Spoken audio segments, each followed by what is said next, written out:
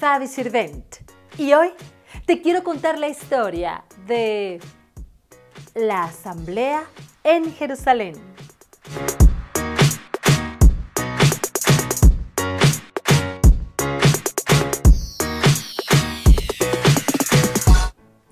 Pablo y Bernabé continuaban trabajando para el Señor, predicando a los gentiles, y muchos, muchos se convertían.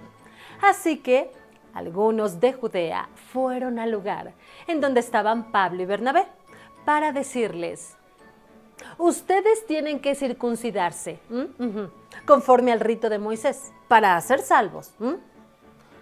Pablo y Bernabé no estaban de acuerdo con esto, así que tuvieron un enfrentamiento. Discutían del asunto, pero vaya, no era algo fácil. Así que decidieron traer a Pablo y a Bernabé junto con otros a Jerusalén para arreglar este asunto. Y en el camino, pasando por Fenicia y por Samaria, ellos les contaban todas las maravillas que Dios había hecho con ellos y también de que muchos habían creído en Jesús. Así que se llenaban de alegría, de gran gozo. Llegando a Jerusalén, los recibieron la iglesia y los apóstoles y los ancianos, y ellos les contaban cuán grandes maravillas, los milagros que Dios había hecho a través de ellos, y también de que muchos, muchos gentiles se habían convertido. Y ellos se gozaban. Allí también había un grupo de fariseos que habían creído en Jesús. Estos se levantaron y les dijeron,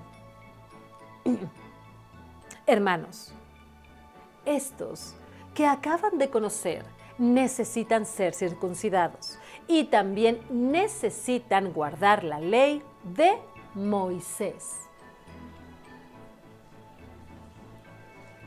Pero es que no todos estaban de acuerdo con esto, así que hicieron una asamblea los apóstoles, los ancianos estaban allí, Pablo también, junto con Bernabé y los fariseos, para tratar este asunto.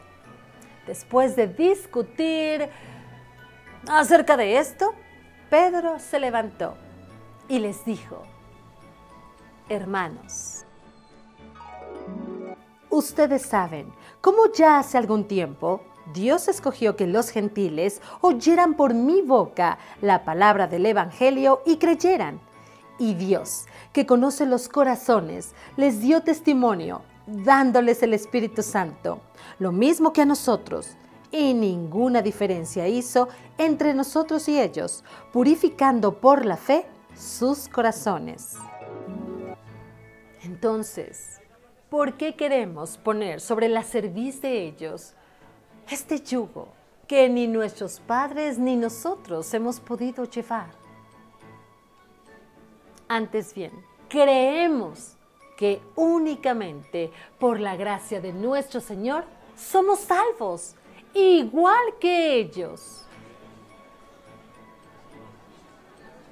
Entonces todos callaron.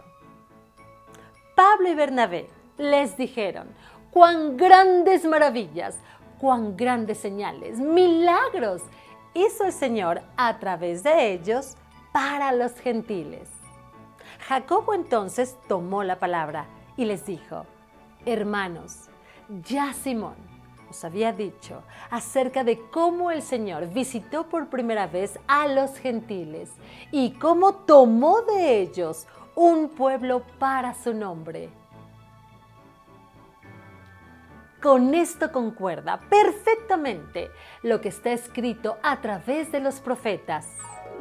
Después de esto volveré y reedificaré el tabernáculo de David, que está caído, y repararé sus ruinas, y lo volveré a levantar, para que el resto de los hombres busque al Señor, y todos los gentiles sobre los cuales es invocado mi nombre, dice el Señor, que hace conocer todo esto desde tiempos antiguos.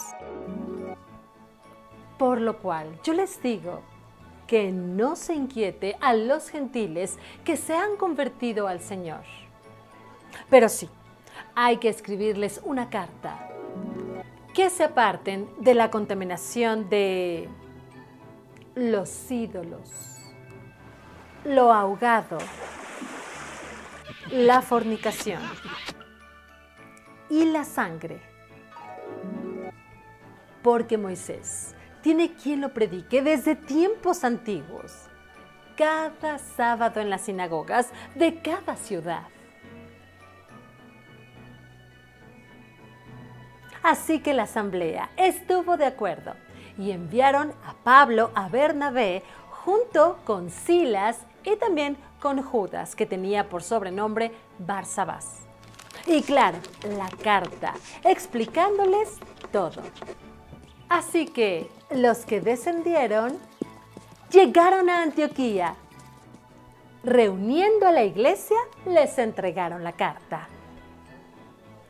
Y esta carta decía, a nuestros apóstoles, ancianos, hermanos y hermanos de entre los gentiles de Antioquía, Siria y Cilicia, reciban saludos.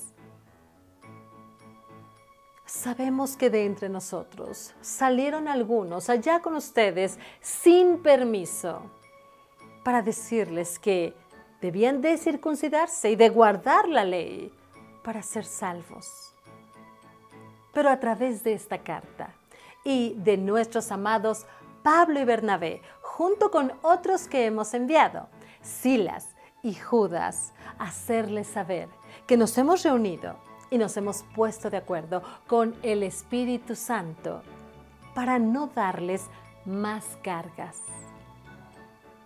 salvo lo que es necesario que guarden.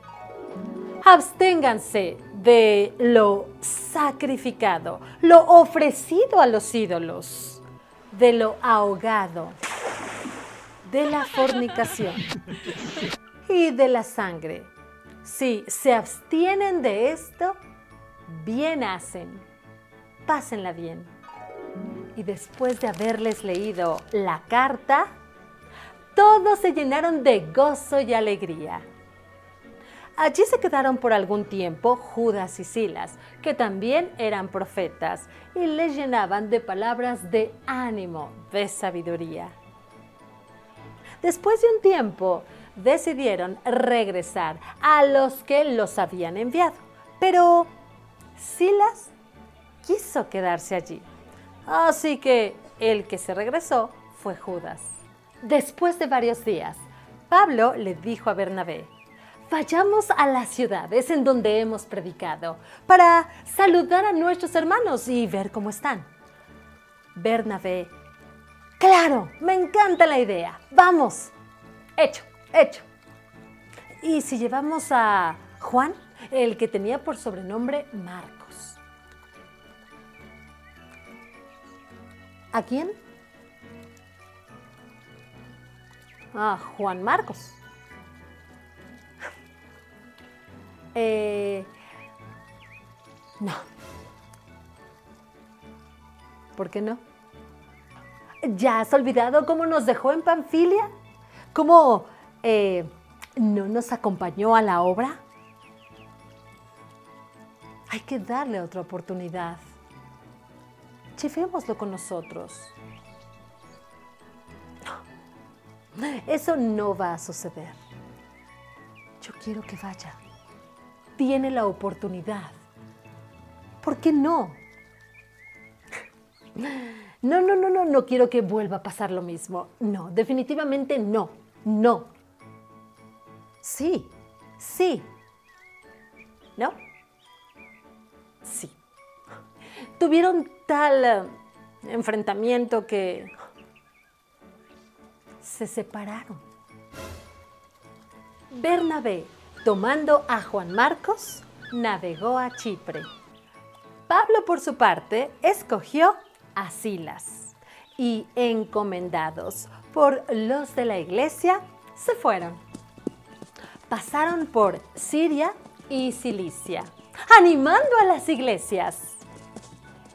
Esta es la historia de la asamblea en Jerusalén. Nos vemos la próxima. Y sí, Jesús te ama mucho, mucho.